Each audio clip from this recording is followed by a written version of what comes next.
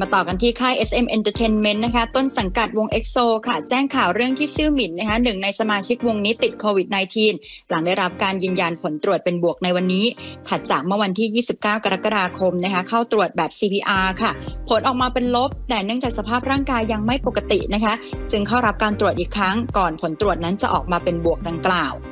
โดยหลังจากนี้นะคะตัวศิลปินจะทำการกักตัวตามมาตรการทำให้ต้องพักทุกกิจกรรมที่วางเอาไว้